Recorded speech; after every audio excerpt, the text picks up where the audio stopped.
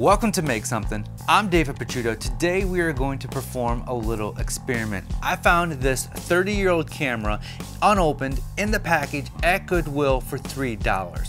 What makes this so special is this camera came with a roll of film that expired in 1990. We are going to take this camera out, shoot 24 frames, and then develop the expired film in my kitchen and see what happens. This has the potential to be super cool. I'm excited. Check it. Long before I was a woodworker, I was very big into film photography. I used to take a lot of art photos. I was even an assistant wedding photographer. And at one time I had a job at a local newspaper where I was the darkroom technician and I developed all the film and scanned all the negatives. And recently I've been getting back into film photography. I've got a fairly large collection of film cameras, instant cameras, as well as 35 millimeter film and medium format film. As I'm getting back into film photography, I found this at the Goodwill. This is unopened, still in the package, a Kodak point and shoot camera. It looks like the date on the back says 1987, so it could be from that year or a couple years past. But what I wanna do is open this up, put this roll of film in the camera, take some photos, and then develop it. One of the issues of using expired film is you're gonna get color shifts and it might not expose correctly, so you're gonna get kind of a grainy look to it.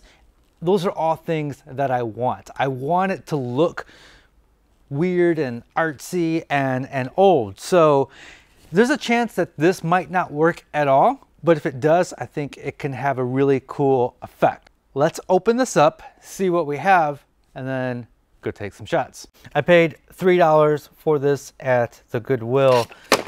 This might turn into something interesting. We got open and close. We got the rewind, the shutter release, and then one more to set your ISO. I was gonna try the original batteries, but there's some crud on there. So I went in the house and I got some new ones. Kodak Gold 200, they still make this film. I actually prefer using 400 film or even 800 because I, the reason I love film photography is actually seeing the grain and seeing the imperfections of film. And the higher you get up with that ASA, uh, the more grain it is, meaning it's more sensitive to light. So like a 100 film, you would use in bright daylight. An 800 film, you would use in low light. Uh, so this is 200. I wish it was 400, but it's gonna be so gnarly and color shifted that I think it'll be, I think it's gonna be cool. It's so cheap. It feels so awesome.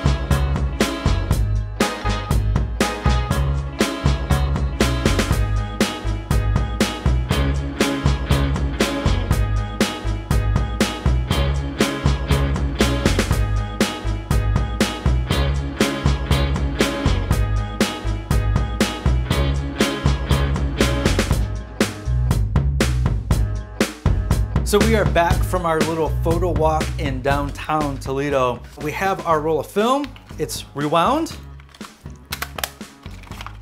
And I've got a darkroom bag where I am going to open this up where I can throw it onto the reel and develop it. I've got an entire video on developing your own film, so we're just gonna skim through this part of the video. I did find the expiration date of this film, which is 08 1990. If this is 31 years old, my expectations are, and we'll see if I'm right, but I've got a feeling that the film is going to be a little bit underexposed. I've got a feeling there's going to be a color shift. I don't know which way it'll shift, um, but I'm assuming like a magenta. So all, I think all my whites are going to be either green, teal, or magenta. and I got a feeling it's going to be really grainy. So I think all of these things can play into a cool look. So hopefully this comes out and this wasn't a wasted day. Um, but uh, this is the nature of shooting with 31 year old expired film.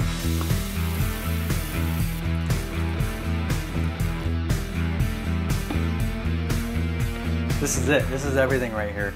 I'm, I'm nervous and I'm also super excited. I'm always excited after developing a roll of film, but I'm super excited about this because I bought that camera at that Goodwill like two years ago and just building up the anticipation.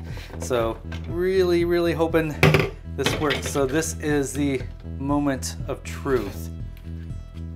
Ooh, that does not, I don't know.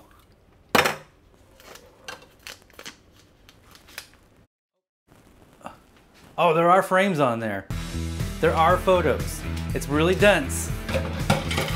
It is really dense. That's the color it should look like. This is the color that we have. Yeah, that's uh, that's that's quite a difference. So, uh, the this will be this will be interesting. Now it's time to scan them and see what they look like. My preferred method here at home is to use a camera with a macro lens and then some sort of uh, white backlit source like a tablet or a phone.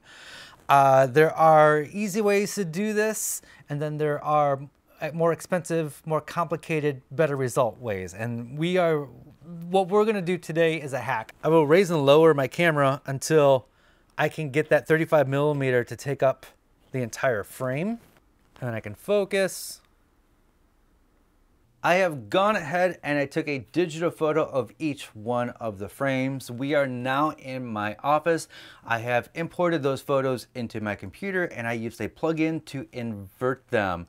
We have 23 photos and not all of them came out. The ones that didn't come out, not the film's fault. It was actually my fault for not understanding what the minimum focus distance of the camera was. So in a few cases, I was too close to the subject and it just came out super blurry. A blue cast over all the photos.